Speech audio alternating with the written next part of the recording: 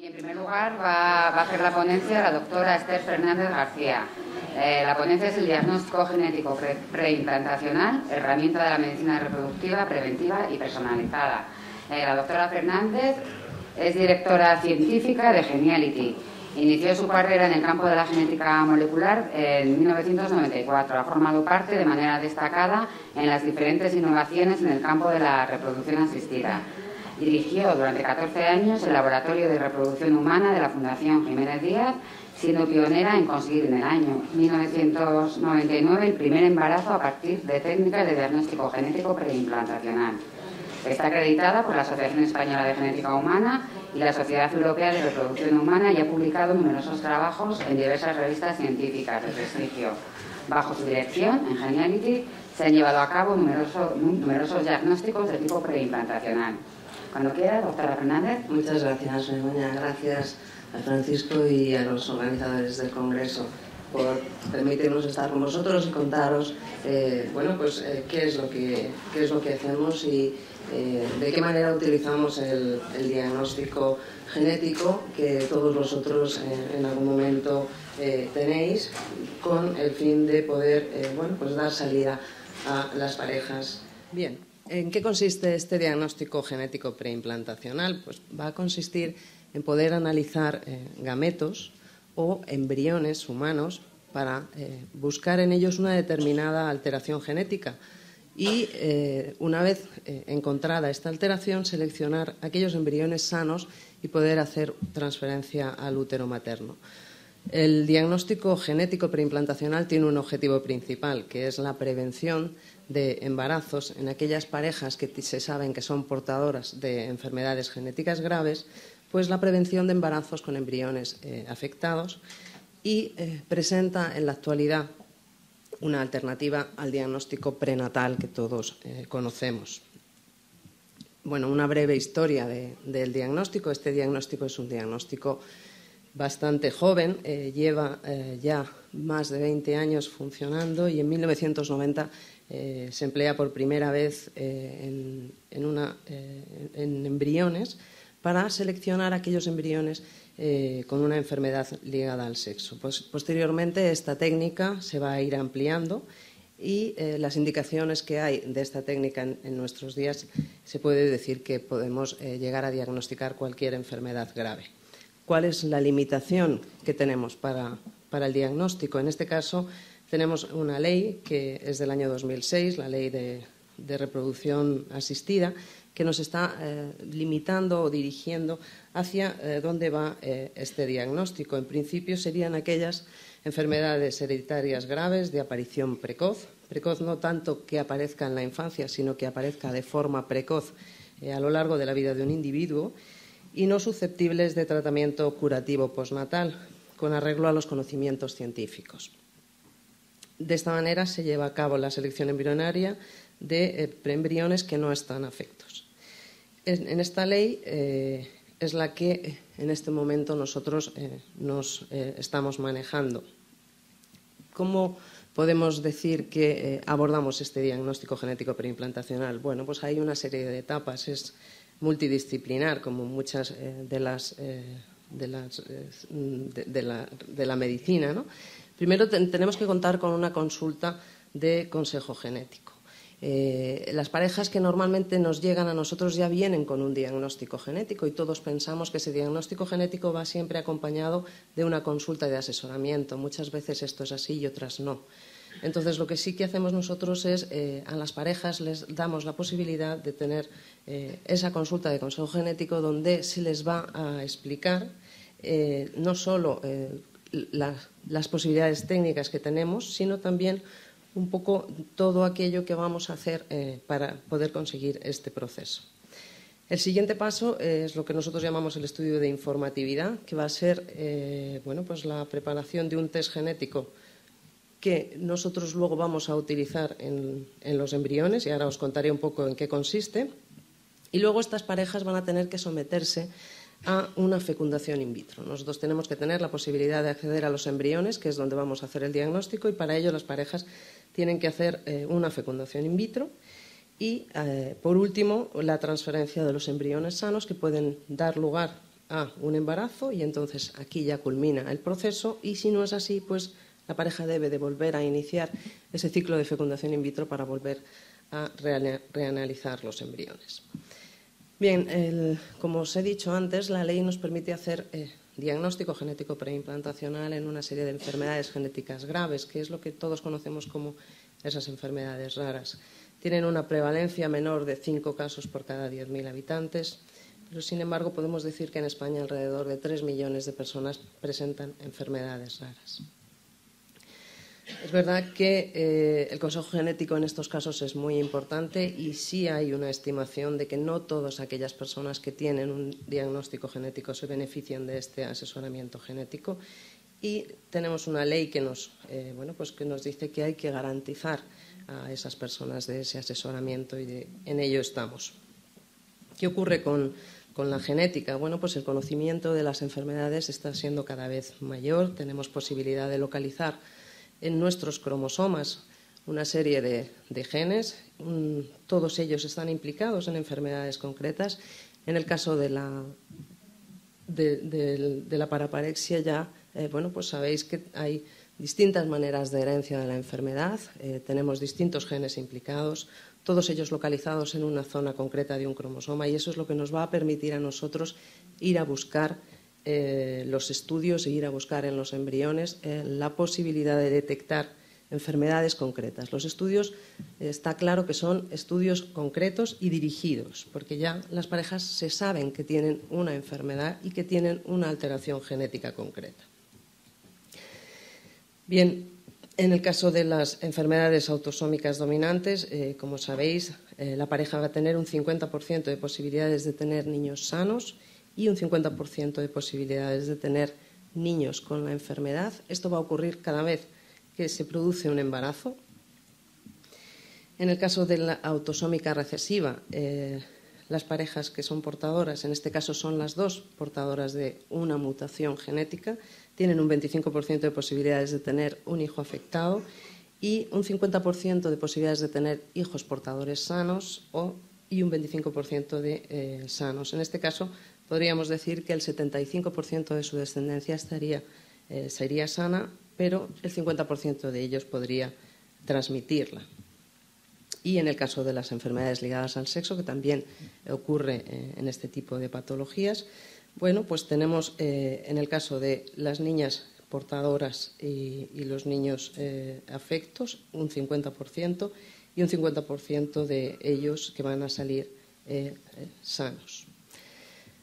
Como os he dicho antes, el, siguiente paso, después de, ver cada pareja qué tiene, qué, enfermedad, qué tipo de herencia tiene, qué mutación tiene localizada, pues el siguiente paso es realizar un estudio de informatividad. Este estudio de informatividad lo que nos va a permitir es seguirle la pista de la enfermedad en una familia, en distintas generaciones de la familia.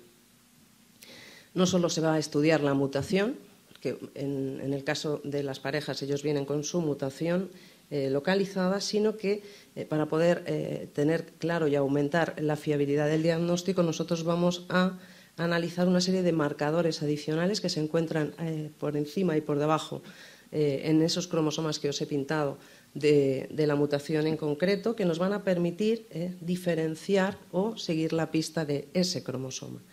Como veis aquí en el ejemplo que os pongo, esos marcadores o esos polimorfismos es lo que va a hacer que individuos, como podemos ser todos nosotros, que somos genéticamente iguales, bueno, pues podamos diferenciarnos por esos polimorfismos y eh, es lo que vamos a utilizar en el estudio.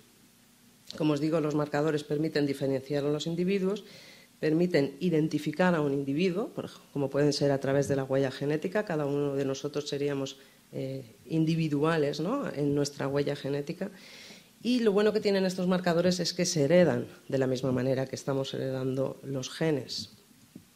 Entonces, eh, bueno, pues esto podría ser un poco lo que nosotros vemos en el ADN, que al, principio son como una serie de letras que no nos dicen nada, pero si nos paramos, pues partes en concreto de ellas nos van a decir eh, palabras que tienen significado y esto es lo que nosotros llamamos genes, eh, dentro de todo lo que es el, ADN. ¿Qué serían los marcadores o esos polimorfismos que os he contado? Bueno, pues zonas concretas que se repiten esas letras y eh, en el número de veces que se producen estas repeticiones, en este caso sería una L, una P, una L, una P, pues estas dos letras se pueden repetir en, un número de veces diferentes en los individuos y eso está en la población general y el hecho de tener estos polimorfismos diferentes en el tamaño de repeticiones no va a generar ninguna patología, pero sí nos va a permitir diferenciar, diferenciarnos unos de otros. Entonces nosotros utilizamos, aparte de los genes, utilizamos esos polimorfismos para poder seguirle la pista a las enfermedades dentro de lo que es una familia en concreto. Tenemos la mutación, que en este caso viene aquí simbolizada con este puntito, y en un cromosoma, eh, como ya sabéis, tenemos un par de cromosomas, eh, de, todos nuestros 23 cromosomas, tenemos un par de ellos, pues en uno de los cromosomas, aquí estamos hablando de una enfermedad dominante, aparece una mutación y podemos ver esa mutación y ver qué polimorfismo tienen pues de estos que hemos seleccionado por arriba y por abajo. Por un lado, en el cromosoma sano, que sería este de aquí, tenemos un polimorfismo azul que tiene 14 repeticiones y uno verde que tiene 15 y en el gen que lleva la alteración tenemos uno azul que tiene 10 repeticiones y el verde que tiene 25. ¿Qué quiere decir esto? Bueno, pues sencillamente que siempre que tengamos el polimorfismo 14 en este cromosoma y el 15, tenemos claro que va a ir asociado eh, a la mutación o al cromosoma que está llevando el gen alterado. Y cuando aparezca el otro polimorfismo, el 8 y el 21, pues nos está poniendo de manifiesto que tenemos el cromosoma sano. Bien, no solamente analizamos esa mutación, sino que vamos a analizar esos polimorfismos y vamos a poder hacer como un mapa genético del cromosoma o de la zona del cromosoma que queremos analizar. La, paciente que viene con una enfermedad diagnosticada y su pareja se les va a hacer el mismo estudio y se va a ver cómo de diferentes o de iguales son entre ellos eh, en esos polimorfismos. Esta persona tendrá además una mutación que podremos analizar, pero también tiene un gen normal. Por lo tanto, esos polimorfismos nos van a poner de manifiesto esos cromosomas y seguirles la pista. Los marcadores, pues si son iguales, no nos van a valer porque no nos van a diferenciar entre personas y si tienen distintas repeticiones, pues nos valdrán y podremos utilizarlos. De esa manera pueden ser informativos, semi-informativos o sencillamente no informativos porque no nos dicen si el 14, 14 es de uno u otro cromosoma y si el 12, 12 es de uno u otro cromosoma. No podemos diferenciarlos. Entonces, en el estudio de informatividad nosotros vamos a coger a la pareja, Vamos a hacer un estudio genético de esa mutación, vamos a seleccionar una serie de marcadores y vamos a seleccionar familiares que nos pueden venir bien para seguirle la pista al cromosoma. De manera que a la hora de tener eh, eh, que analizar a los embriones, vamos a saber perfectamente qué es lo que tenemos que encontrar y buscar en esos embriones para saber si son o no enfermos. Bueno, pues como os he dicho, se realiza con el fin de identificar esos marcadores genéticos informativos o semi-informativos que se emplearán luego en ese diagnóstico. Nos ponemos ya en la situación en que la pareja ya tiene el estudio hecho, ya sabemos qué marcadores son los que se agregan en el cromosoma que lleva el gen afecto, cuáles son los marcadores que están en el cromosoma normal de esta, de esta persona que es portadora también sabemos cuáles son los marcadores de su pareja y nos vamos a analizar a los embriones. Pues bien, todos aquellos embriones que hereden el marcador, en este caso 14-15, más la mutación o 16-24, nosotros vamos a tener muy claro que esos embriones son o no son portadores. Tendrán un cromosoma materno y otro paterno y vamos a saber perfectamente qué cromosoma estamos buscando y qué es lo que vamos a encontrar. De esta manera seleccionaremos aquellos embriones que son sanos y que no tienen la enfermedad genética y podemos transferirlos. Bien, todo esto, como os he dicho, es una serie de plazos y de, fases. Primero la consulta, después el estudio de informatividad. La pareja ya una vez que tiene el estudio de informatividad inicia la fecundación in vitro. Esa fecundación in vitro suele durar entre 20 y 30 días eh, hasta que llegan a la punción. En la punción se extraen esos óvulos, se estudian los embriones, se transfieren y si hay embarazo, pues esta fase y todo este proceso se acaba. Si no hay embarazo, pues hay que volver a iniciar lo que es el ciclo de fecundación. ¿Qué ocurre con el ciclo de fecundación? Que también es importante, es muy importante para que nosotros tengamos luego un resultado. Tú puedes hacer un diagnóstico de embriones estupendos, pero si esos embriones no son viables y no pueden eh, ser evolutivos porque sencillamente no han llegado a, evolucionar bien in vitro, pues no conseguiremos el resultado final que es el, embarazo. Entonces, bueno, pues en cinco días es lo que eh, nosotros nos manejamos con la fecundación in vitro para obtener eh, los, óvulos, para hacer la inseminación, para ver si están fertilizados esos óvulos y en el día 3, una vez que el embrión ya tiene alrededor de 6 o 8 células, es cuando nosotros vamos a poder hacer el diagnóstico y en el día 5 los embriones se transfieren. ¿Qué ocurre con, con la fecundación in vitro? Bueno, pues que no todos los ovocitos que salen van a ser ovocitos maduros y no todos los ovocitos que se inseminan van a poder ser eh, fertilizados. Hay una tasa de fertilización aproximadamente de un 70 o un 90%. Por lo tanto, si partimos de 10 ovocitos, pues posiblemente el día de la fertilización haya habido una reducción en esos eh, ovocitos fertilizados. Y nosotros tenemos que esperar hasta el día 3 de cultivo para poder coger una célula al embrión. Está, en este estadio el embrión es totalmente totipotente, se le puede eh, coger una célula y no, están diferenciadas, no le estás quitando nada en concreto, son células que independientemente serían capaces de evolucionar y de dar por sí mismas un embrión. Y entonces en este día 3 eh, seleccionamos aquellos embriones que son evolutivos, se les eh, biopsia una célula, esa célula tiene un núcleo, que es lo que nosotros nos vamos a poder analizar, y entre el día 3 y el día 5, que es cuando se hace la transferencia de los embriones, tenemos que llevar a cabo el diagnóstico. Ese diagnóstico que tenemos muy claro cómo hacer porque ya hemos hecho un estudio previo de informatividad que nos permite dirigir el diagnóstico a esa única célula y tener claro esos resultados. ¿Qué ocurre? Bueno, pues que no todos los embriones biopsiados van a ser capaces de evolucionar a día 5 y de los que han evolucionado hay que seleccionar aquellos que son sanos. Por lo tanto, podríamos decir que eh, estos dos embriones que están dentro del de eh, diagnóstico de sanos y además son evolutivos, se podrían transferir al útero y obtenemos, en el mejor de los casos, mm, no, no, me gusta ser demasiado optimista, pues unas tasas de embarazo aproximadamente de un 35%. ¿Qué ocurre cuando tú analizas el ADN en una sola célula? Bueno, pues que puedes encontrarte problemas de, la técnica. Esos problemas son los que hemos ido solventando a lo largo de todos estos años, de manera que nosotros, eh, cada vez que hagamos un diagnóstico, tenemos totalmente eh, seguro que lo que estamos viendo es lo que está. El analizar una única célula nos hace que tengamos una única copia de ADN que tenemos que, eh, bueno, pues que aumentar exponencialmente con otra serie de técnicas y hay veces que hay una amplificación preferencial y tú solamente de los dos marcadores que esperas, de los dos cromosomas que esperas, hay veces que solo obtienes un resultado. Entonces, el hecho de tener varios marcadores te hace ver si realmente estás delante del resultado que esperas y eh, te hace evitar que puedas tener algún error.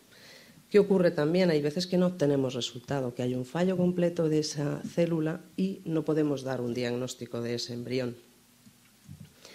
Y por último, hay procesos que son procesos genéticos normales, que son como la recombinación genética, que tenemos que tener muy controlados y gracias a esa batería de marcadores vamos a ser capaces de controlar, de manera que si hay algún tipo de recombinación entre un cromosoma y otro, nosotros podamos seguirle la pista al proceso de recombinación y saber si realmente estamos frente a un embrión sano o no.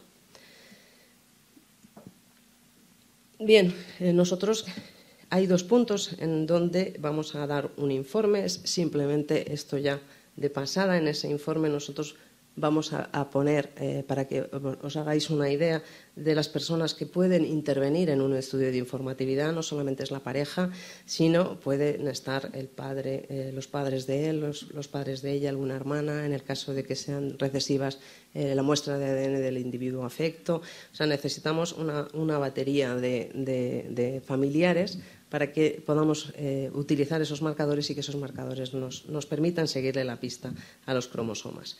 Utilizamos luego esos marcadores que aquí aparecen con estos nombres así extraños y cada uno tiene pues bueno, unas repeticiones y unos tamaños que es lo que nos van a dar a nosotros al final el poder saber si eh, podemos analizar a esa pareja y si podemos hacer el, diagnóstico. Esto sería un poco como la parte de atrás. Esto es lo que nos queda a nosotros después de analizar una serie de marcadores y de tener una serie de tamaños. Vamos a poder diferenciar perfectamente el cromosoma portador, le vamos a poder seguir la pista y vamos a poder saber eh, colocar y tener bien colocado dónde están los marcadores que van asociados al gen eh, patológico y los marcadores que van asociados al normal.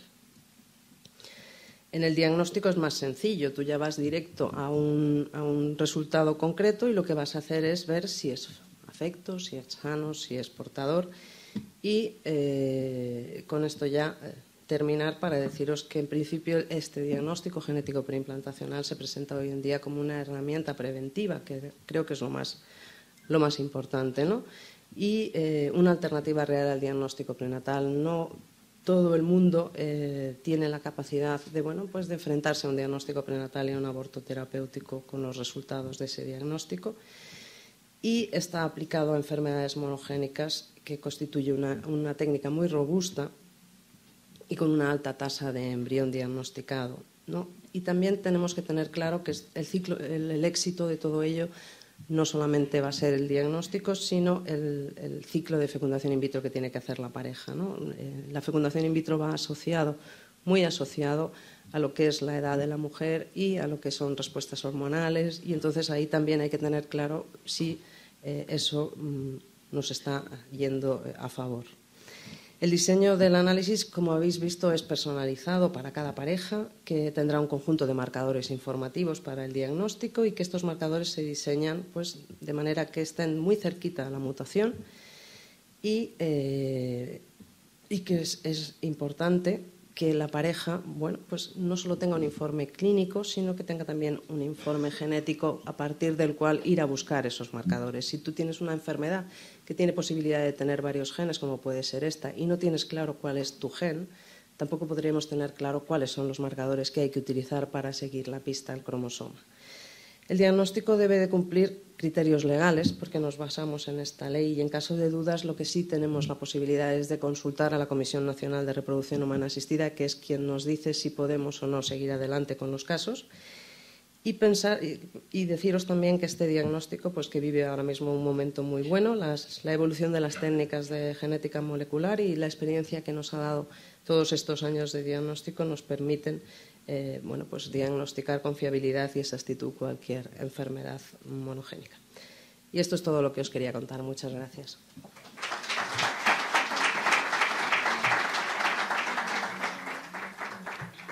¿Alguna pregunta para la doctora? Me gustaría hacer dos preguntas.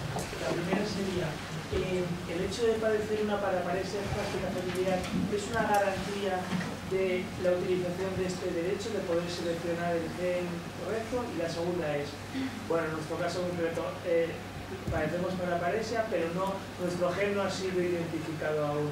¿Eso habría posibilidad de, llevar a cabo esta técnica o al no conocerlo impediría esta situación? Mira, en principio la paraparexia estaría dentro de lo que son las enfermedades genéticas graves, de, aparición precoz, eh, todo lo que dice la ley. Cualquier persona con esta patología podría eh, optar legalmente sin ningún problema a hacer esta técnica.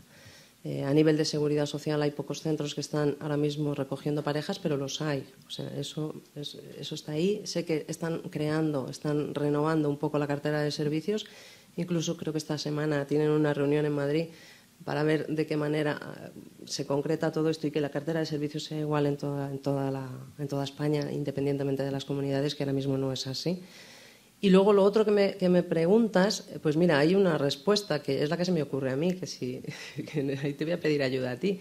Tú, tú puedes no tener el gen, tú puedes no tener el gen mm, localizado, pero sí puedes tener eh, el cromosoma localizado, no sé cómo decirte. Si hay una asociación entre una enfermedad que se piensa que puede ser ese gen y se hace un estudio familiar de varias generaciones con varios afectos y todos los afectos han heredado el mismo cromosoma, tú puedes presuponer que estás en presencia del cromosoma que lleva el gen con la patología.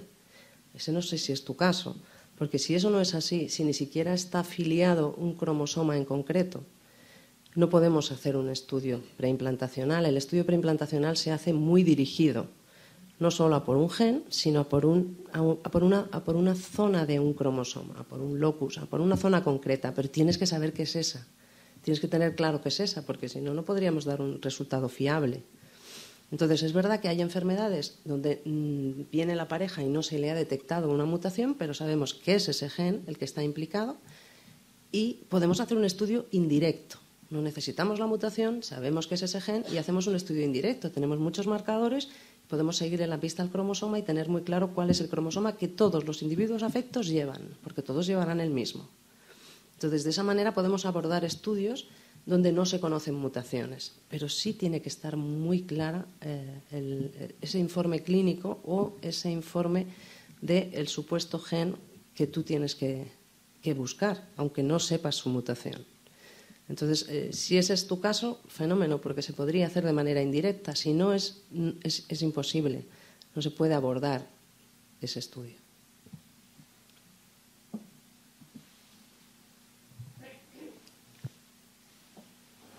Sí. Pues, eh, yo en, el caso de que mi hermana, por ejemplo, que quiera tener hijos y eso afecta, porque yo sí que tengo la, sí que estoy afectada. Entonces, ¿cuál sería el proceso para ella? O... ¿Y, ella está ella es portadora? Esa? Pues no, ella todavía no se ha hecho nada. No se ha hecho nada. Pues mira, eh, nosotros tenemos un, caso que es una enfermedad muy concreta que, tú conoces muy bien, que es la enfermedad de Huntington, que son pacientes eh, que tienen una patología neurodegenerativa que empieza a partir de los 40 años más o menos, 35, 40 años. Y hay mucha gente que tiene el riesgo de ser portador, como podría ser tu hermana, que tiene un riesgo de ser portadora, pero que no quiere saberlo, que no quiere hacerse el estudio entonces, lo que nosotros hacemos es, en este caso, hacemos un, eh, estudio indirecto. Un estudio indirecto donde lo que hacemos es, eh, bueno, pues seguirle la pista a un cromosoma. El cromosoma de tu hermana, independientemente cuál sea, el que ha heredado de tu padre o de tu madre que tenga la enfermedad, no sé en este caso si es tu padre, tu madre, los dos, es que ahora mismo no sé de lo que me hablas. Entonces lo que hacemos es buscar el cromosoma que ha heredado eh, de su padre o madre, que es afecto, y eso lo sabes, es afecto, pero estás mirando por fuera, estás mirando el cromosoma, no, no le miras la mutación. Entonces lo que hacemos es ver qué cromosoma ha heredado y ese cromosoma, que es el que tiene el riesgo, porque no sabes si tiene o no la mutación, pero sí sabes que tiene el riesgo porque viene del, de la persona que está afectada, le, sigues la pista de manera que todos los embriones que llevan ese cromosoma tienen también el riesgo y se seleccionan en contra. Se seleccionan en contra en este caso, como no lo sabes, es un 50% de posibilidades de que sea o no lo sea, lo que haces es congelar esos embriones de manera que se quedan ahí a la espera, porque a lo mejor tu hermana decide hacerse un estudio en unos años y dice, ah, pues fíjate, pues yo no soy portadora o yo no tengo el problema, ¿no? Y tienes ahí unos embriones que no se pueden desechar. Pero es verdad que hay patologías concretas que se expresan muy tarde y donde el prenatal eh, pues también es difícil de utilizar porque abortar niños que sabes que hasta los 40 años no van a tener problemas, ¿no? Es son problemas éticos que cada uno los maneja individualmente. Esto es imposible que se puedan eh, generalizar, ¿no? Entonces, es verdad que hay patologías concretas donde se puede hacer ese estudio indirecto, donde no le dices a la persona supuesta portadora que es o no es portadora, no lo sabemos nadie, no lo vamos a querer saber nadie, y lo que sí podemos es quitar ese riesgo a su descendencia. De manera que seleccionamos aquellos embriones que no han heredado el cromosoma de la persona que está afectada. Eso es lo que se hace un estudio indirecto y ya, bueno, ir a informarme y todo eso Y en ese estudio indirecto, como os, podéis imaginar, necesitamos a muchos miembros de la familia. Vamos a necesitar a los padres, vamos a saber necesitar, pues eso, por lo menos, quién es el que lleva el, Lo necesitamos porque, como os he puesto antes, los cromosomas estaban muy bien ordenaditos esos marcadores. Ese orden de los marcadores nos los dan los padres, porque tú vas viendo un tamaño y dices, ¿este de dónde viene? Del padre, este de la madre. Y vas colocando y de esa manera tienes muy bien pintado todo tu cromosoma y puedes seguirle la pista, sin necesidad de saber si ese cromosoma tiene o no el gen alterado. Entonces, hay enfermedades donde nos permiten, entre comillas, eh, hacer un estudio indirecto y quitar el riesgo a, a la persona de que su hijo venga con una enfermedad.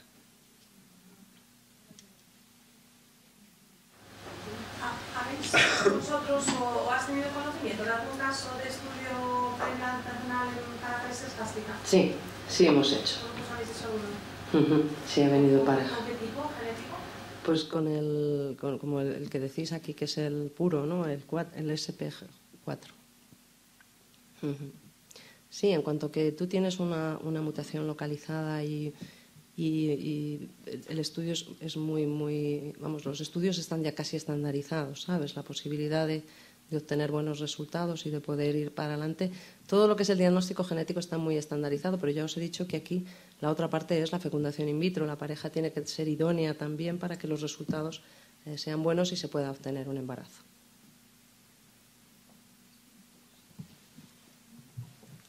Muy bien, muchas gracias. Muchas gracias a vosotros. A vosotros.